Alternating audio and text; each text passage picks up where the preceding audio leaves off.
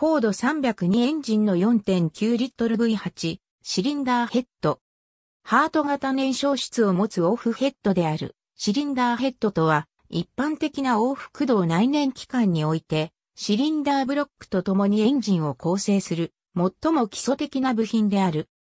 シリンダーヘッドは往復動内燃機関の性能を左右する重要な部品であり、燃焼室の形状、インテークマニホールド、エキゾーストマニホールド、給排気ポートの形状などの設計により、エンジンの燃焼効率や体積効率、圧縮比が決定される要因ともなる。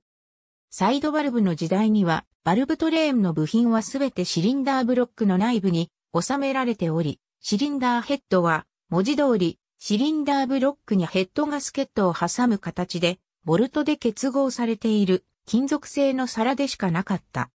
この形式はフラットヘッドと呼ばれ、構造の簡便さが初期の自動車や草刈り機をはじめとする小型エンジン機器の大量生産に重要な役割を果たしたのである。フラットヘッドとポペットバルブを組み合わされたエンジンは、芝叩く間にスリーブバルブのエンジンを駆逐して、自動車、オートバイエンジンの主流になった。この時であってもシリンダーヘッドには燃焼室と点火プラグが内蔵されていた。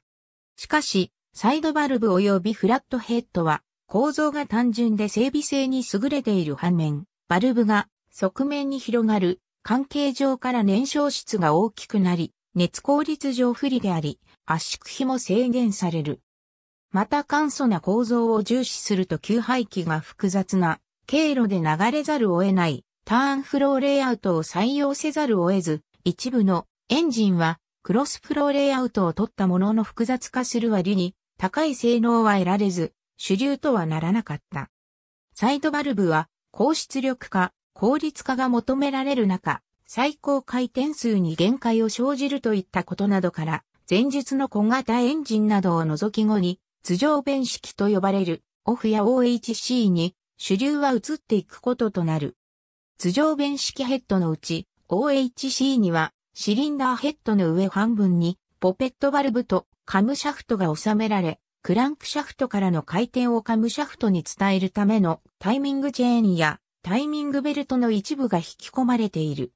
OHC 以前に主流であったオフ形式ではカムシャフトはシリンダーブロック内に収められ、ポペットバルブはヘッド内のロッカーアームとプッシュロットを介して駆動された。その他、サイドバルブの吸気バルブのみをオフ化した EOA エンジンも存在し、それなりに用いられた。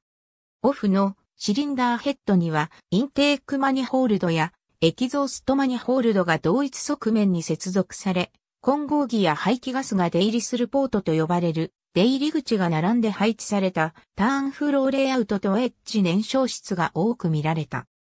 OHC 形式では、給排気形式も混合機がシリンダーヘッドの片方の面から吸入され排気ガスが反対の面へ流れるクロスフローレイアウトが主流となり、燃焼室の形状も半球型やペントルーフ型となり、燃焼効率や最高出力、最高回転数は大きく上昇して、現在に至っている。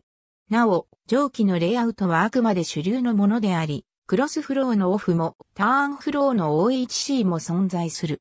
材質ははじめは中鉄が用いられたが、比較的早期の段階で放熱性の高いアルミ合金に切り替えられた。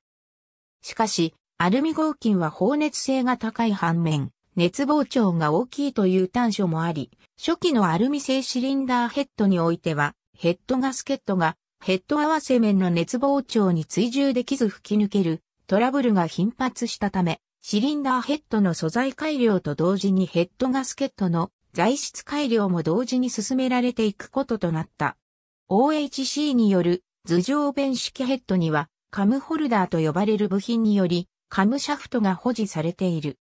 ホンダスーパーカブをはじめとする小排気量のオートバイではボールベアリングを介してカムシャフトを保持することが多いが 250cc 超の排気量のオートバイ用エンジンや今日のほぼすべての自動車用エンジンはベアリングの耐久性の観点から、カムホルダー自体が一種の滑り軸受けとして製造される。このような構造を持つシリンダーヘッドは、カムホルダー自体がシリンダーヘッドと一体加工され高度な深淵度が保たれているために、カムホルダーの取り付け位置や取り付け方向が洋国などによって厳密に指定されていることがほとんどであり、順序や向きを入れ替えて取り付けることや他のシリンダーヘッドに取り付けられているカムホルダーを使用することは焼き付きの原因となるために禁忌とされている。